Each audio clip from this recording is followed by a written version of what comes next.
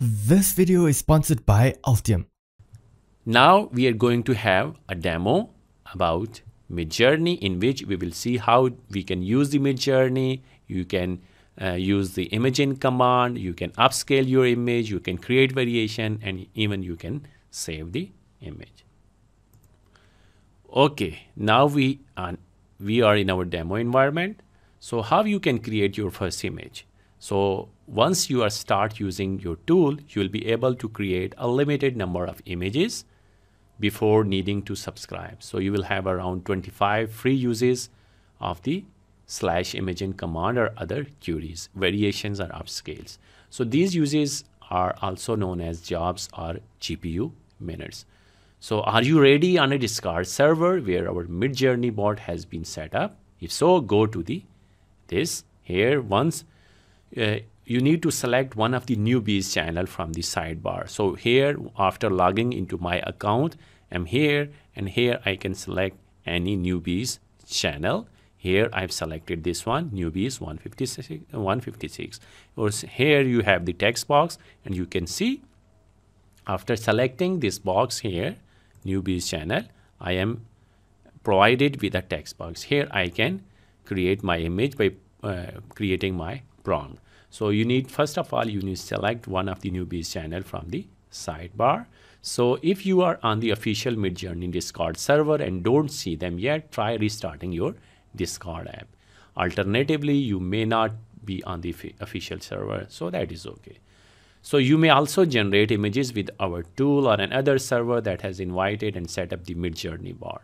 So read the uh, instructions there or ask more experienced users to point you towards one of the bot channels on that server. This video is sponsored by Altium, the industry standard and most professional PCB design software on the market. I've used Altium for designing printed circuit boards to build my own custom Arduinos and high-speed on-edge computer vision projects. When I tested other PCB CAD softwares out there, I found that nothing came close to the flexibility, ease of use and power of Altium Designer. I mean, if you ever worked on PCB design for computer vision applications, you know that transmitting video signals is a very delicate task, with many high-speed signals that you have to consider in terms of electromagnetic noise, and crosstalk. Altium helps you to easily manage and route high-speed signals with length tuning to ensure that you receive clear image quality on the other end. What's really great is that we have partnered up with Altium to bring you an exclusive discount for our Augmented Startups community. Sign up with the link down below to get 30% off monthly of the perpetual license of Altium Designer. You can also try out Altium Designer for free for the first 15 days. Just click the link down below to get started.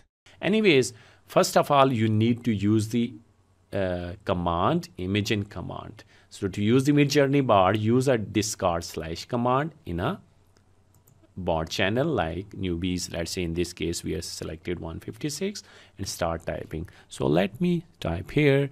I'm going to type imagine and then I need to press enter and then uh, you are noticing there's something pop up about your text that is click on the tab or the imagine option the prompt field will be created. Now as in this case it has created and now you can add whatever you want the bot to generate as you can see. So let's say I'm going to generate uh, cat and dog playing. So this is uh, one of the prompt which I'm going to give to my server. So once I'll hit enter, then it has started creating the here here is the progress of my input. So here this is my ID and here this is 12% is done for my prompt cat and dog. So now 31% has done. So once it will be done with the 100% then we can make changes we can upscale we can make different variations of our image. So you can also try to press the space bars while uh, like creating in the case of uh, while you are having to write the prompt. So after uh, that you need to wait as the Midjourney bot processes your request. So here in this case 93% of that is done. So requests take a minute to generate four options based on your prompt. So here we are. Okay.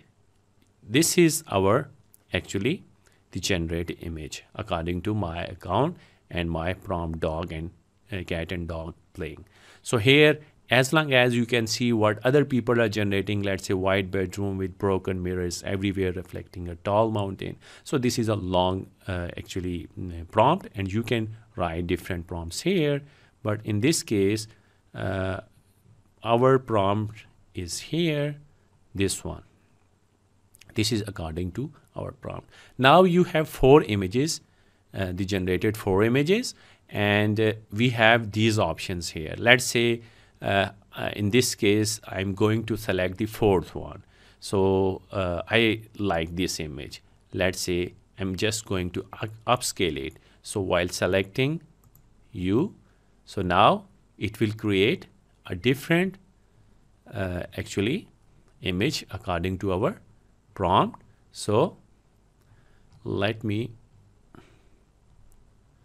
let us wait for it to be generated a new images here. Yes here. This one is our image that is in uh, in progress and 30 54 percent is done uh, after upscaling. And even here I can cancel my job. Even I can make a different variation of any other let's say uh, for the uh, first one or for the third one I'm go just going to uh, select uh, the I need to select this one and just okay it has created another one another version of this. Oh, okay so this one is 90% done. After that I have provided another job to it. Here you can see cat and dog playing. So by uh, again uh, I have uh, I have give a command to upscale it but anyways we can make different variations of it. So here you can see where was our the uh, four generated images. And now let's say uh, we are here uh, this one yes. This one is 77% done and this one is upscaled by. So this is already upscaled and this is in progress. This is also in upscale. But anyways after upscaling we may have let's say upscale to max. I want to upscale it to maximum. So another job is created. So i'm going to upscale it for maximum. So it is here. Yes. Okay.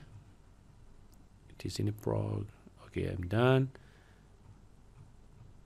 it is upscaled to maximum then uh, let me let's say make variations. I want to make the variations of this one so I can create different variations according to this.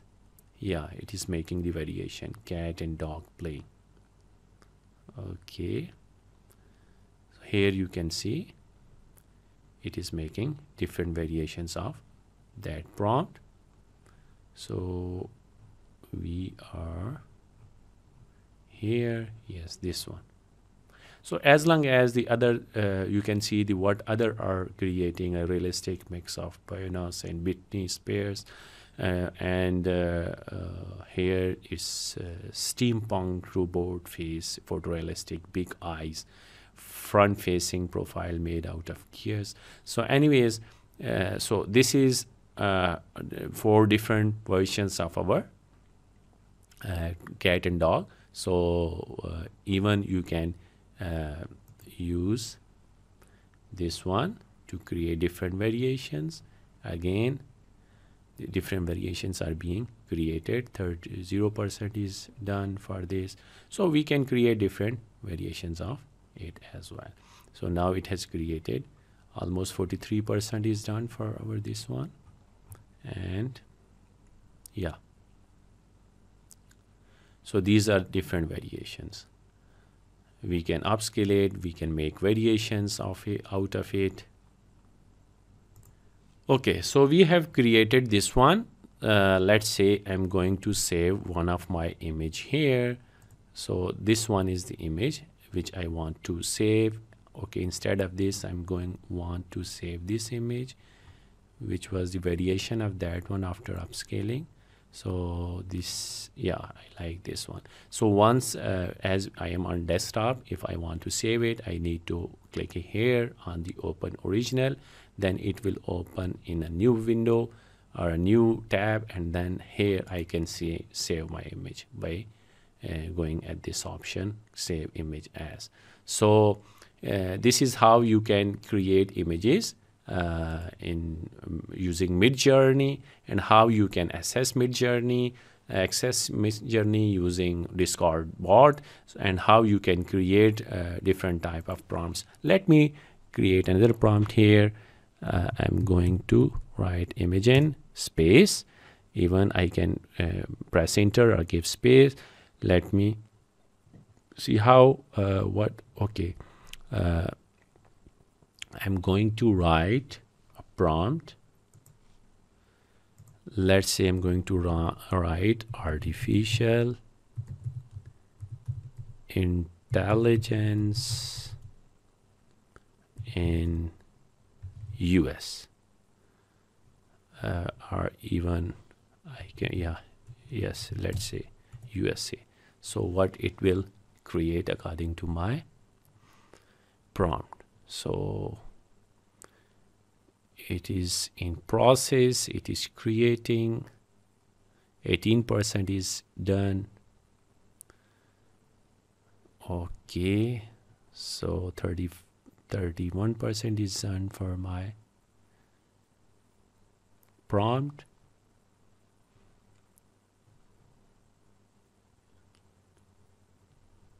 Okay, so 50%, 62% is done.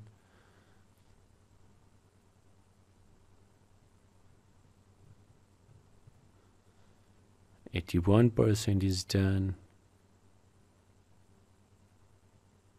100% is done. Here you can see you can see the flag of US and some artificially intelligent sort of a robot and this is how you can use uh, Midjourney for any prompt but there are some directions for how you can create prompts which prompts are uh, particularly useful while we were discussing about the theory behind the Midjourney uh, like when we were creating the images. So when, when we're discussing about the image-based generators. So this is how you can use Midjourney. So in the next video, uh, we will look at DALL-E 2.